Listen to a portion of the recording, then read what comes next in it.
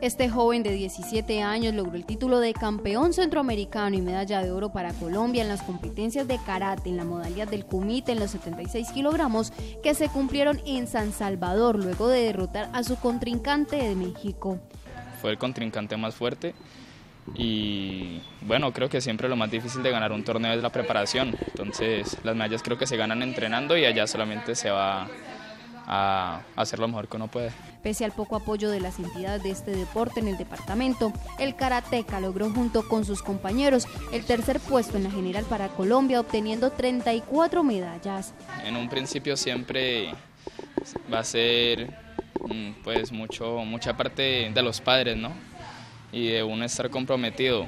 Y ya más adelante pues aunque no siempre se va a apoyar, se va apoyando de a poquito.